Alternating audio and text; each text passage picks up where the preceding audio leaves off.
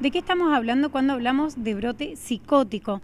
¿Qué le pasa a una persona cuando tiene estos episodios? Este y otros temas lo dialogamos con el psiquiatra Damián Fernández. Él está en el Servicio de Salud Mental del Hospital Chestakov.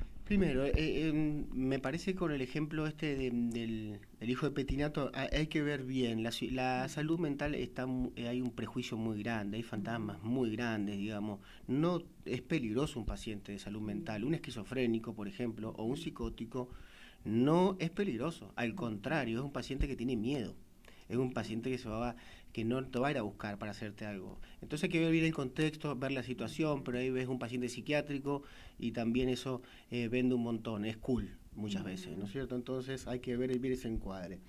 Lo otro, eh, la psicosis, en realidad, la persona eh, pierde su criterio de realidad, deja de poder valerse por sí misma, ¿no es cierto?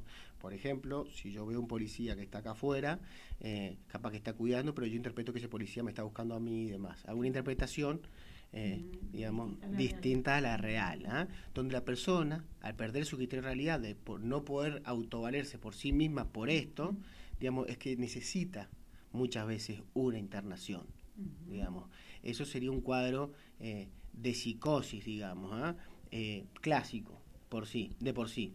Eh, pero asociado al consumo, bueno, es, es, distinto, ¿ya? Porque el cuadro de presentación es, es, es bien característico. Eh, es importante el tema de las abstinencias también del consumo. Las abstinencias no producen psicosis.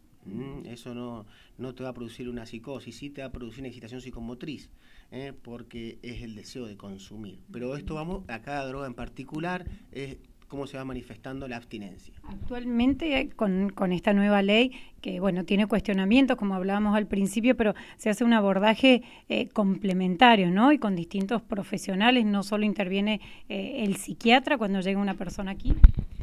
Sí, eh, justamente la ley de salud mental lo que prevé es que el abordaje de los padecimientos asociados a salud mental sea realizado por un equipo interdisciplinario en el cual participan eh, psiquiatras, psicólogos, trabajadores sociales, enfermeros, terapistas ocupacionales, acompañantes terapéuticos. Así que sí, se prevé un abordaje interdisciplinario. Ustedes, eh, ¿cómo es eh, el régimen ¿no? de trabajo? ¿En qué horario se puede venir a consultar? ¿En qué ven ustedes que por ahí la gente tendría que decir, bueno, a ver, estemos atentos y de última pregunto, consulto? Bien, eh, los horarios que nosotros tenemos, trabajamos de lunes a sábado, todas las mañanas, de 8 y media a 13. Em, trabajamos en, la internación, en consultorio ambulatorio, que eso se trabaja con demanda programada, eh, y, y también hacemos interconsultas dentro del hospital. Hay seis pisos en el hospital, hacemos interconsultores de, de los seis pisos.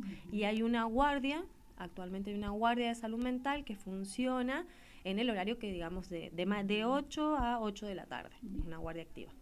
Sugerencias por ahí en cuanto a la, a la salud mental, eh, no funcionar ni caóticamente ni dramáticamente.